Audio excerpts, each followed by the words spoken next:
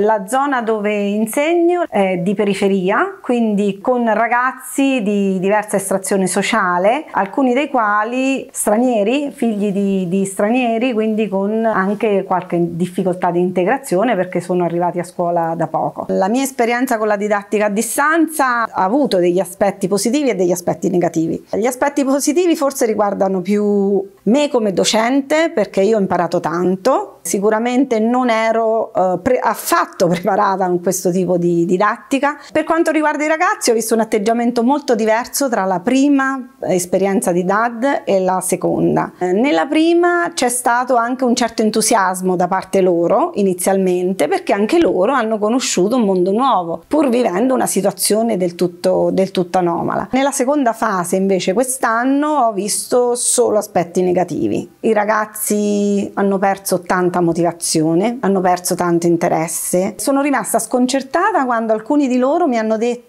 che loro il pomeriggio lo passavano solo a guardare video, serie tv oppure a giocare alla PlayStation e che il loro grande dispiacere era quando questa serie tv o il gioco alla PlayStation terminavano. Alcuni di loro addirittura mi hanno detto che piangevano a seguito del dispiacere di questo, di questo mondo che si concludeva. Ho pensato che non, non ho gli strumenti per entrare in comunicazione con loro in questo senso. Per me è un mondo completamente estraneo. Mi sono accorta che loro vivono una vita del tutto parallela. Il mondo mediatico per loro è diventato il loro mondo, le loro relazioni sono tutte lì dentro, sono tutte falsate. Mi sono posta la domanda come faccio io a entrare in contatto con loro, come faccio a stimolarli, come faccio a, a farli tornare nell'ambiente scolastico. Questo mi ha lasciato interdetta, devo dire. Tre mesi di, di didattica a distanza, già soprattutto con i più piccoli, quelli della prima media, li ha fatti tornare a regredire come se i primi mesi di scuola non ci fossero stati. Questo è preoccupante. Le ordinanze della regione Umbria ci hanno eh, prorogato questa chiusura della scuola di settimana in settimana, quindi con un'incertezza ancora maggiore dell'anno precedente. Perché se l'anno precedente, o bene o male, dopo le prime due settimane avevamo capito che ormai avremmo concluso l'anno scolastico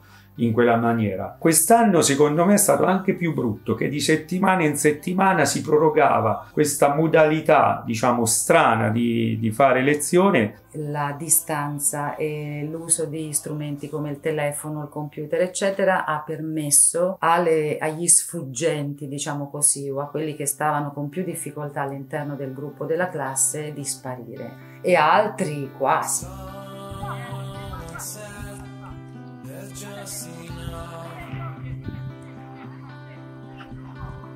Nel marzo del 2020 la nostra attività clinica si è molto modificata. Intanto siamo stati costretti a sospendere molte delle attività che avevamo in atto e eh, a sostenere le famiglie e anche i bambini e i ragazzi che noi avevamo in carico in una maniera differente, cioè utilizzando spesso modalità da remoto. Successivamente, soprattutto dall'autunno 2020 ed in particolare fine 2020 e questo primo trimestre del 2021, abbiamo avuto un grande incremento di ragazzi, soprattutto preadolescenti, quindi dagli 11 ai 14 anni con eh, sintomatologia caratterizzata soprattutto da disturbi depressivi, ansia e condotte autolesive e ideazione suicidaria. Nel primo trimestre del 2020 le richieste per questa tipologia di disturbi e soprattutto per questa fascia di età erano circa la metà di quelle che sono state invece nel primo trimestre del 2021. Confrontandolo anche con altri dati nazionali di colleghi di neuropsichiatria infantili come anche internazionali ci permette di verificare che soprattutto soprattutto nella seconda parte della pandemia, quindi nel secondo lockdown, c'è stato un incremento di circa il 30% di richieste di ricoveri nei reparti di neuropsichiatria infantile per tentativi suicidari, per crisi comportamentali molto gravi e per condotte autolesive.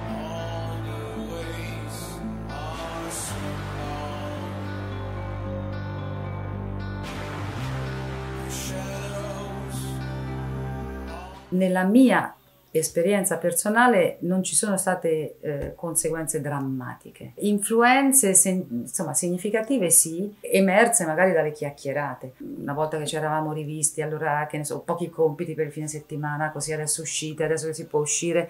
Eh, ma io prof, cioè, ma io non c'ho mica voglia di uscire. Accompagno la mamma a fare la spesa, ma poi chiacchierando ci veniva fuori una cosa che non riguardava tanto la scuola, ma la loro vita personale, cioè che questo mh, periodo obbligato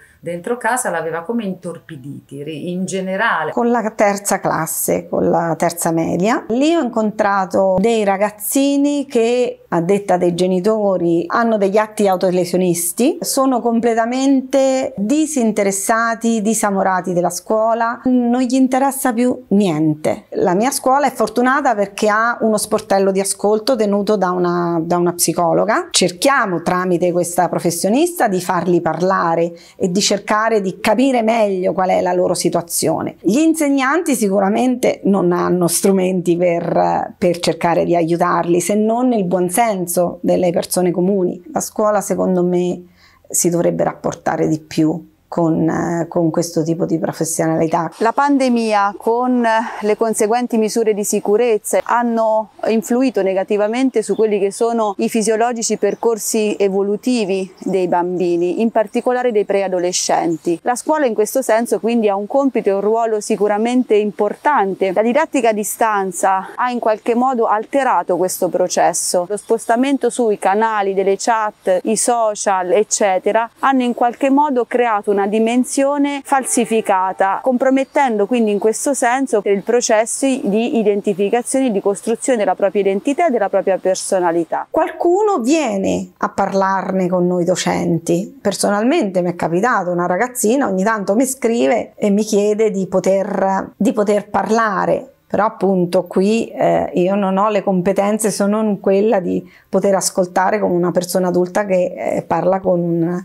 con un adolescente. Hanno perso la capacità di stare insieme. Lo si vede da quando siamo tornati a scuola. Alcuni hanno dimostrato paura. In alcuni casi io ho ragazzi che continuano a stare in un angolo con i guanti, con la doppia mascherina, cioè all'inizio sono rientrati con la paura perché magari a qualcuno di loro è capitato un, un lutto in famiglia e quindi hanno vissuto in prima persona la problematica del Covid e quindi hanno, hanno sofferto molto e da soli forse l'hanno metabolizzato ancora, po- ancora meno. Secondo me nel complesso la didattica a distanza e, e la scelta che è stata fatta di tenere i ragazzi a casa è stato un fallimento. Rispetto ai rischi che la situazione attuale comporta per l'utenza sono difficili da quantificare o da esprimere in maniera perentoria, si può comunque ipotizzare che l'aumento delle problematiche possano consolidare delle problematiche di personalità e quindi oltre al rischio acuto, è chiaro che un rischio suicidario aumentato è un rischio acuto che va gestito nell'immediato, ma al di là di questo ci può essere proprio una ricaduta sull'assetto di personalità permanente delle persone.